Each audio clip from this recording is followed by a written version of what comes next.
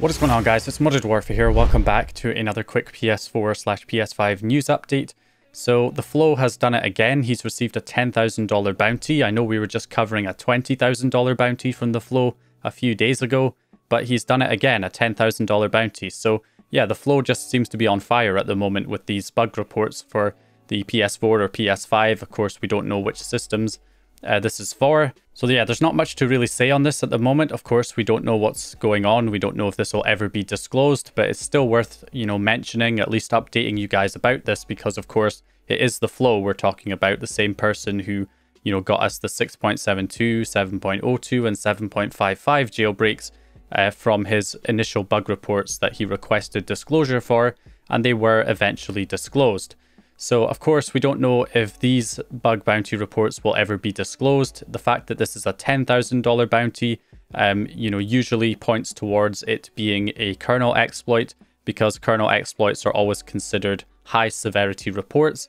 And typically every other kernel exploit that has been, you know, made public from one of these reports it has been from a $10,000 bounty. So therefore, whenever somebody gets a $10,000 bounty, that usually suggests it's a kernel exploit for either the PS4 or PS5.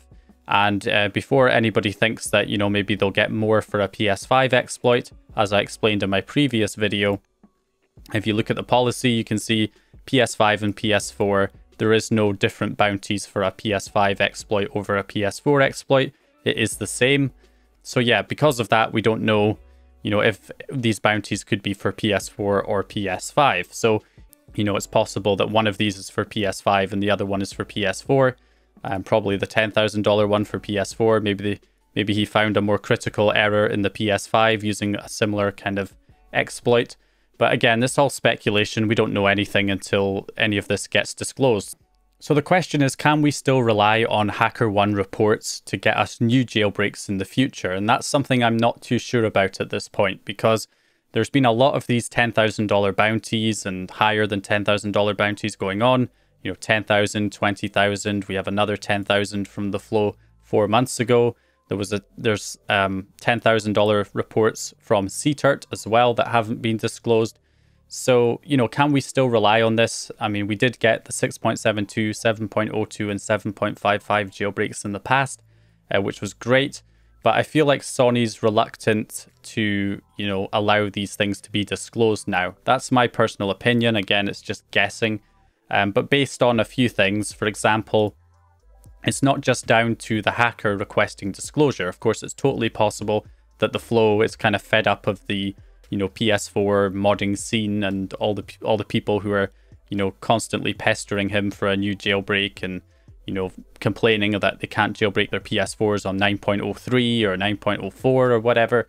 So it could entirely be just down to that. It could be the flow just doesn't want to you know help the PS4 modding scene anymore. That's totally possible. But it could also be on Sony's side. It may even be more likely to be on Sony's side. So for example, if we look at the original uh, report that was fully disclosed, this was the 6.72 to 7.02 jailbreak, essentially, that was disclosed here. So you can see the flow does request uh, to disclose the report.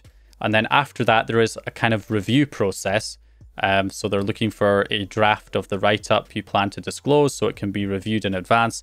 And then, you know, the HackerOne staff bring it to PlayStation and PlayStation decide whether or not to approve uh, the report or not. As you can see, the PlayStation team will approve public disclosure of this report.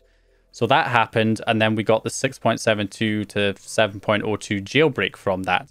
So then the next time it happens, and the flow wants to disclose a report, this time they're reluctant because of what happened last time. So this time they only partially disclose it, where they just have a brief summary of what the vulnerability is, uh, without really revealing too much and you know not revealing a full implementation on how to actually exploit the vulnerability just showing that hey there's a vulnerability here and this is what the vulnerability is but you know we're not going to show you how to exploit that vulnerability. We're not going to reveal that information. And you know therefore uh, it took a bit longer but it was it's it was still sufficient enough of a disclosure for a jailbreak to be figured out it took a while, but sleirsgoevy managed to figure it out.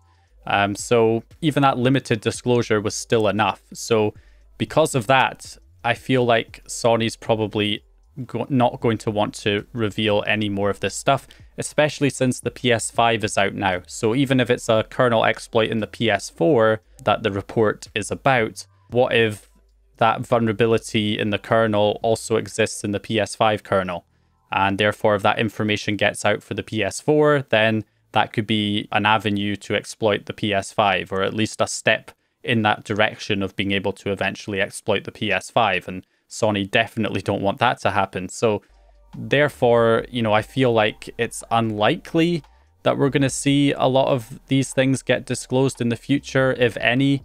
Um, so I'm not I'm not hedging all my bets on HackerOne anymore. It's still significant to talk about it whenever, especially somebody like the Flow receives a $10,000 bounty because there's always it's happened before, so it can happen again. I just think PlayStation are really reluctant to allow anything to be disclosed, you know, after what happened the previous two times that th that information was disclosed. So, yeah, anyway, we'll wait and see. Hopefully something comes out of it. I'm still hopeful that we will, you know, get some of these reports disclosed in the future.